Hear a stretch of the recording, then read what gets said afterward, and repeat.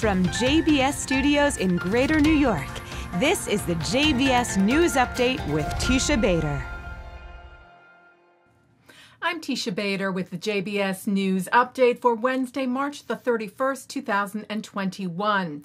The official results of Israel's national elections held last week were presented to the country's president, Reuven Rivlin, at his residence in Jerusalem today.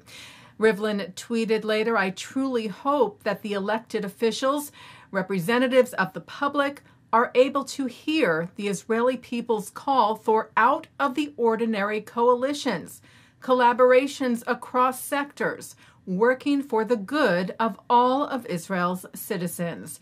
Rivlin will meet with representatives of all the elected parties this coming Monday. The new Knesset members will be sworn into office on Tuesday, and on Wednesday, Rivlin will decide to whom he gives the mandate to form the next government. The U.S. State Department released its annual Global Human Rights Report with some changes to the previous administration's language when relating to Israel. For decades, the report section on Israel was titled Israel and the Occupied Territories. Under President Trump, it was changed to read Israel, Golan Heights, the West Bank, and Gaza. Then Golan Heights was dropped from the title when Trump recognized the Golan as part of Israel.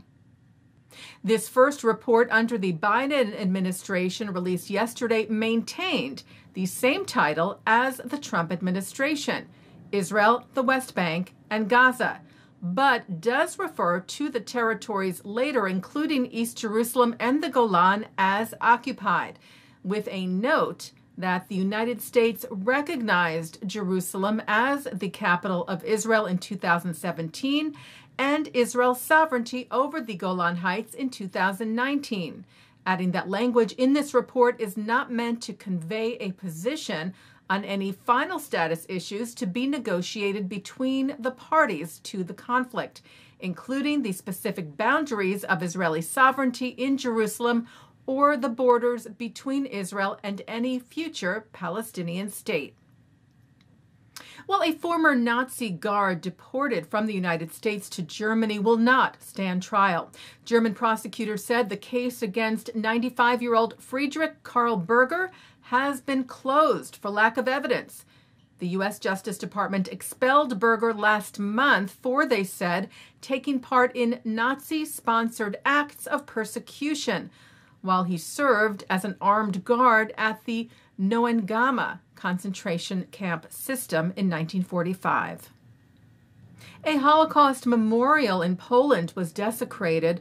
The European Jewish Congress reported that the monument built in tribute to the victims of the Czestochowa ghetto was vandalized with swastikas and other Nazi symbols, as well as with the names of two well known Holocaust deniers. The Anti Defamation League released its latest survey on anti Semitism. It surveyed 503 Jewish American adults in January, 63% of whom said that they had either witnessed or experienced themselves some form of anti Semitism in the last five years, an increase from 54% of those asked the same question last year. The ADL said the survey shows that anti Semitism is still very much a part of Jewish Americans' lives. An Israeli company has the green light from Europe for its super quick coronavirus test. The SpectraLit machine was given approval by the European Medical Devices Directive for a swab version of its test, which means it can begin to be used in the European Union.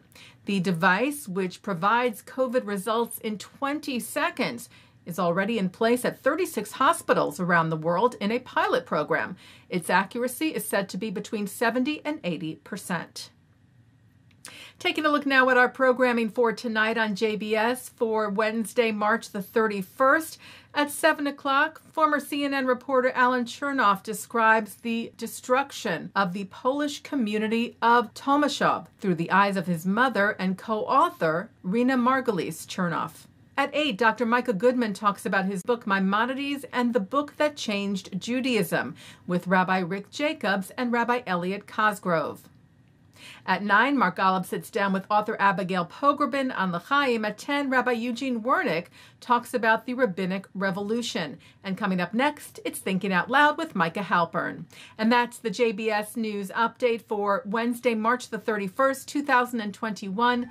I'm Teisha Bader. Stay healthy, stay well.